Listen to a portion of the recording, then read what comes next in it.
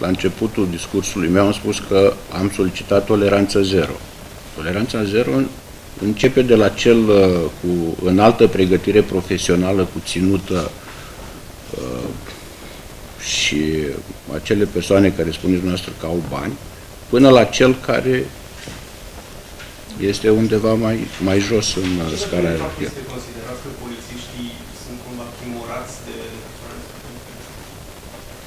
Polițiștii nu sunt timorați de persoanele cu influență, polițiștii, din punctul meu de vedere, nu au fost lăsați să-și facă datoria. Au fost lăsați să-și facă datorii.